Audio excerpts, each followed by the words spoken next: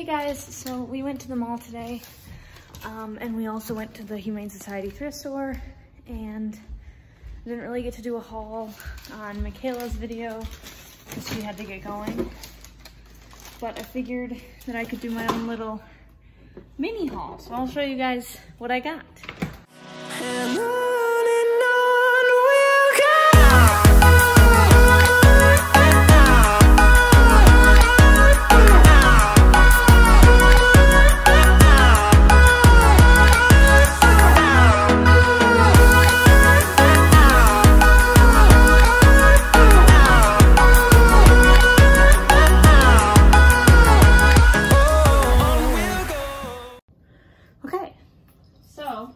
show you guys the stuff we got last first. Um, we went to Bath and Body Works in the mall and I got, they had a deal going on. There was like five hand sanitizers for $8. And if you guys don't know, I have mast cell activation syndrome, which means that um, basically sometimes chemicals react with my mast cells and they cause an allergic reaction. So I can't use a lot of um, soap that they have in like common places or like hand sanitizer that I haven't tried before.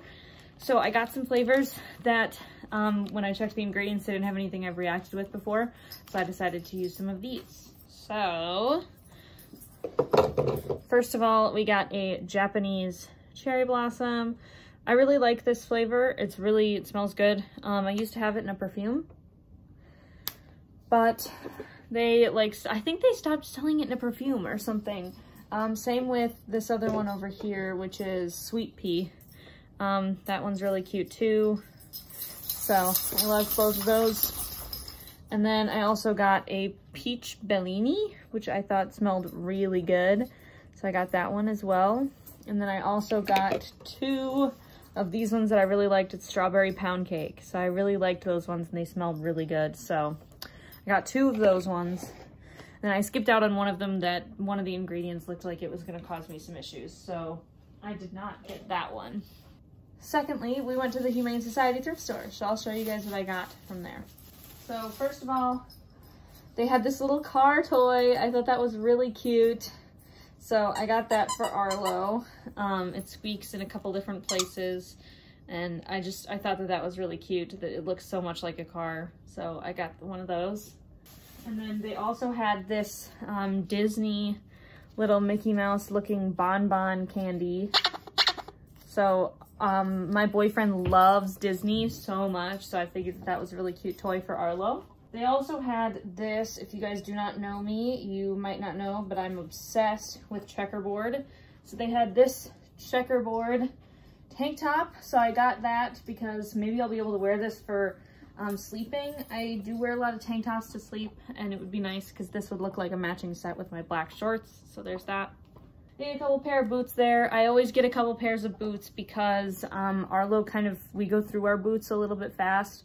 Um, it seems like his boots always seem to rip. I don't know what the deal is, but he loves Muttluks. We love the fit of Muttluks, but then the bottom of it like comes open. There's like a hole in that one. And it's like we haven't had these ones for very long.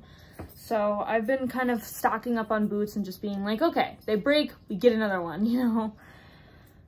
So I got these purple ones there, and they also had these orange ones that look like they'll be really good. They look like the Muttluk style, and they also look like um, they have some pretty hard canvas on the front, so hopefully that'll keep them from breaking as much as possible. And then they had some Lands' End coats there for dogs. So they were only like, this one was $6 and the other one was 99 cents. So really good deals. Um, so I got these. This one is kind of a raincoat. It's orange with a reflective stripe on the back. So there's that.